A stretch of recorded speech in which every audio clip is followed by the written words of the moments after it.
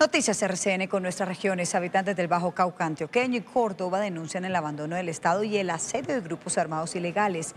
Líderes sociales y defensores de derechos humanos son víctimas de constantes amenazas. Juan Pablo López está en Montelíbano, Córdoba. Adelante, Juan Pablo.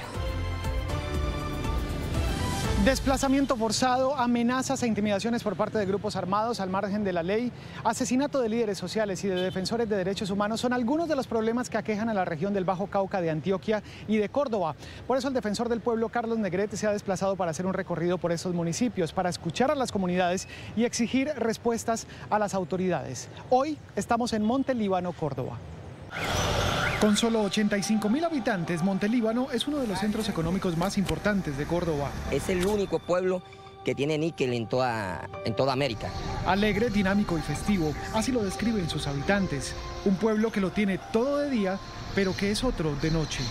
Hay que cogerla un poco sanamente, porque después de las 7 de la noche ya esto se vuelve un poco inquieto.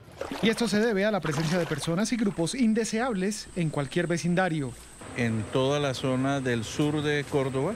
Están un par de grupos eh, al margen de la ley disputándose un territorio. Ellos son el Clan del Golfo o los denominados Autodefensas Gaitanistas de Colombia AGC, los Caparrapos, disidencias del Clan del Golfo que buscan controlar buena parte del narcotráfico, y disidencias de las FARC con fuerte presencia armada y con intereses en el negocio de las drogas.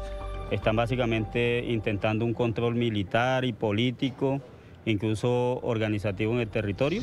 La situación ha generado que ni siquiera los docentes puedan llegar hasta las escuelas de las zonas rurales. Hay estudiantes que los eh, gradúan pero nunca tuvieron clase de química, nunca tuvieron clase de física y menos de inglés. Por su ubicación estratégica y su tierra fértil, Córdoba ha estado en la mira de los delincuentes y esto tiene consecuencias. El departamento con más líderes asesinados en la costa caribe nos ubica en el sexto departamento a nivel nacional. Esto necesariamente afecta las dinámicas políticas de la región.